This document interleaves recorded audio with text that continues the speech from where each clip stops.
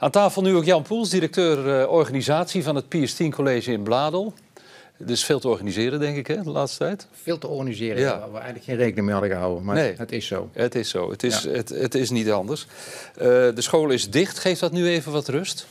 Nou, dat geeft niet eh, echt rust, omdat eh, het is nu wel vakantie, maar eh, er wordt gezegd dat ze hebben twee weken herfstvakantie. Zo is het natuurlijk niet, want docenten en leerlingen krijgen twee dagen voor de herfstvakantie, dus was afgelopen donderdag en vrijdag en straks ook maandag en dinsdag gewoon onderwijs. Dus dat is online, dus dat vraagt weer wat van de docenten, maar ook van de leerlingen. Dus het is geen extra vakantie, maar we hebben die maatregelen genomen om ervoor te zorgen, om te hopen, want je bent natuurlijk toch een beetje aan het varen in de mist, dat zeg maar de haard een beetje omlaag gaat, want in Reuzel en Bladel is er toch wel sprake van een behoorlijke besmettingshaard. Ja, het was uh, nieuws van deze week. De eerste school voor voortgezet onderwijs in Brabant gooit de handdoek eventjes in de ring. Piers 10 en Bladel koos voor een verlengde herfstvakantie, maar het is niet geen vakantie, even voor alle duidelijkheid. Omdat er in de afgelopen tijd 48 leerlingen en 13 docenten besmet zijn geraakt. Premier Mark Rutte zei deze week in zijn persconferentie nog zo mooi... in het onderwijs, eh, dat gaat gewoon door. Onderwijs is te belangrijk om te stoppen. Ja. Toch stoppen jullie? Is allemaal waar. Ik moet wel even zeggen dat de cijfers is wel cumulatief. Dus dat wil zeggen dat ja, we even verteld, hè? Precies, want je hoort nu mensen ook een beetje in paniek raken. Zijn er op dit moment 61 mensen besmet binnen het PS10? Zo is het dus niet. Maar het onderwijs moet door, daar zijn we het mee eens. Maar we moeten er ook voor zorgen dat het op een veilige manier kan plaatsvinden. er zijn op dit moment bij ons op school twee speerpunten. Veiligheid en de continuïteit van het onderwijs. En de veiligheid is natuurlijk de garantie dat het onderwijs ook kan doorgaan. En wij hebben echt gemeend, naar aanleiding van de afgelopen week... van hoeveel leerlingen er thuis zaten en hoe onrustig docenten ook waren. Hoeveel leerlingen zaten thuis dan? Nou, als je kijkt ook naar leerlingen die in quarantaine zaten... dus die de nauwe contacten waren, wat, dat werd mm. eerst door de GGD werd het zo bepaald... zaten op een gegeven moment 150 leerlingen thuis. Van de 2000... 2250 leerlingen hebben wij. Ja. Maar dan, dan, worden dus docenten geconfronteerd soms met halve klassen. Ja, hoe laat je dan je onderwijs nog doorgaan? Dus leerlingen moesten thuis inloggen. Complexe situatie. Maar dus, ik, ik hoorde deze week dat de helft van de middelbare scholen in Nederland hebben coronabesmettingen. Toch gaan de meeste wel door. Ja, ja het, is, het is een keuze die je maakt. Maar wij vonden op een gegeven moment dat het gewoon niet meer verantwoord was om op deze manier door te zetten. En dan met name omdat er zoveel leerlingen niet zijn. Ja, en ook collega's die thuis zitten. En uh, ja, wij willen natuurlijk toch dat leerlingen uh, wel dat onderwijs krijgen waar ze recht op hebben. En wij vonden dat dat op die manier gewoon niet kon. En uh, ja, we hebben ook te maken met medewerkers bij op school, in de categorie 25 tot 65. Dus daar zitten ook een aantal collega's bij die thuis met een lastige situatie zitten en die zelf ook wat onderliggende kwalen hebben. Dus wij vonden echt dat we even lef moesten tonen. Dus onze bestuurder Maarten de Vet heeft ook echt gezegd, oké, ik neem nu de beslissing en we trekken even de stekker er voor twee weken uit. Moeilijke beslissing?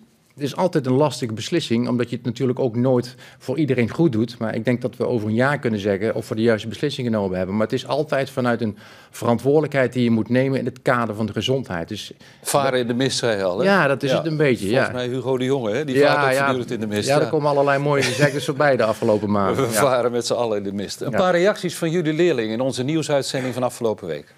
Ik snap het wel, maar het is ook irritant. Ja, je krijgt toch het meeste leerstof mee als je op school zit. Veel zieken, weinig uh, klassen, klassen voor de helft, maar ja, ja, niet heel veel nut. Ja, het is toch een la lastig besluit. Uh, omdat uh, je ook gewoon school nodig hebt. Dus dan is het lastig besluit, gaan we voor corona of gaan we voor school?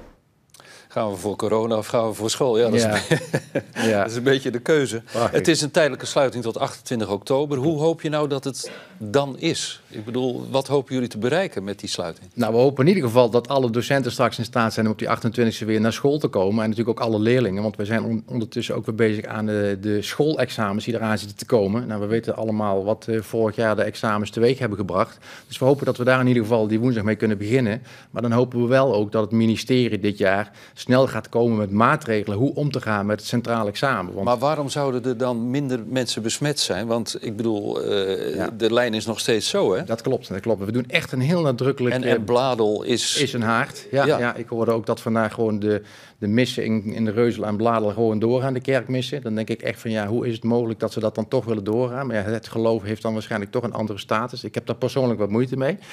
Maar wij nemen heel nadrukkelijk als school nu even de beslissing om die haard om die omlaag te brengen. Maar vragen ook aan ouders en leerlingen.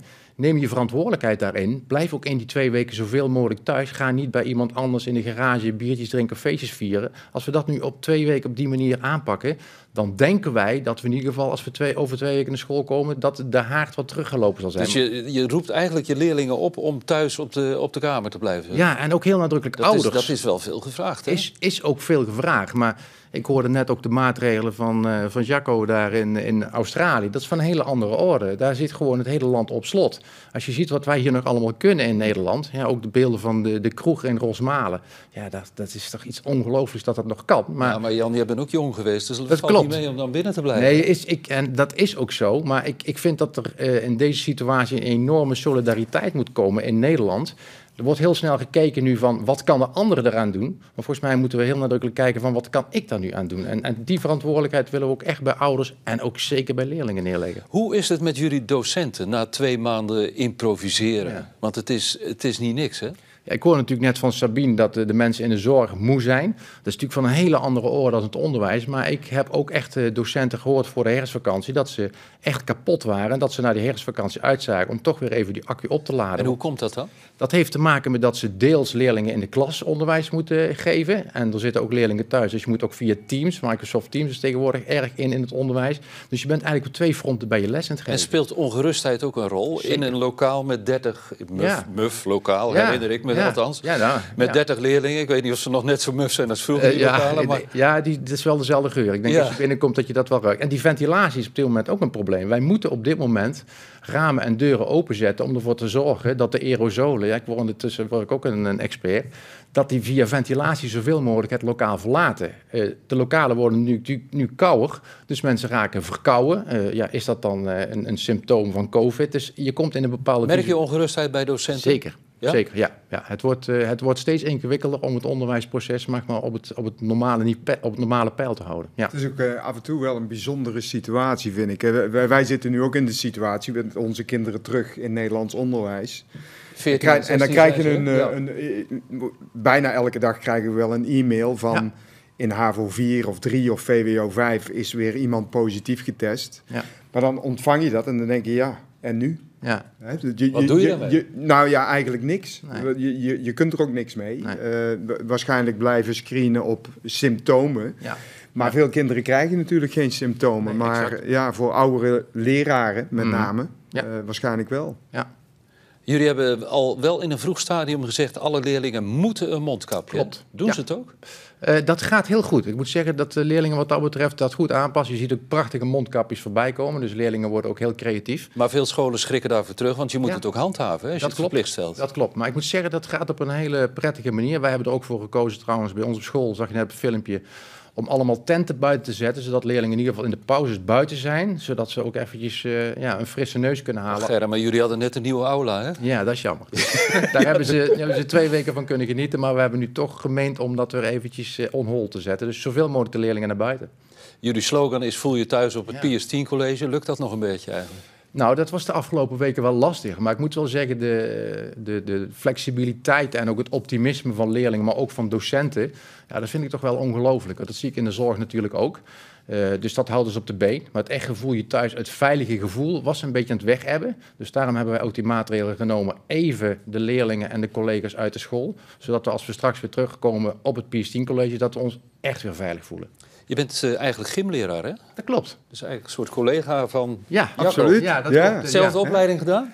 Eh, ik heb SIOS gedaan, maar ik denk dat Ja, jij zult de academie Ik hebben heb, ja, gedaan. dat was toen nog de Katholieke Academie Lichamelijke Opvoeding in Tilburg. Ja, dat klopt. ja, Dus precies. Het allebei een beetje in de sportwereld. Ja, ja. Ja, dat was in het verleden SIOS echt meer voor het verenigingsleven, als je trainer wilde worden. Ja. En de academie echt als je de lerarenkant op wilde. Dat klopt. Ja. Dat klopt. Ja. Ja, nou, Ja. Twee, eh, twee fitte mannen aan ta- aan tafel in elk geval dan. Dat hopen we dat we er zijn. Ja.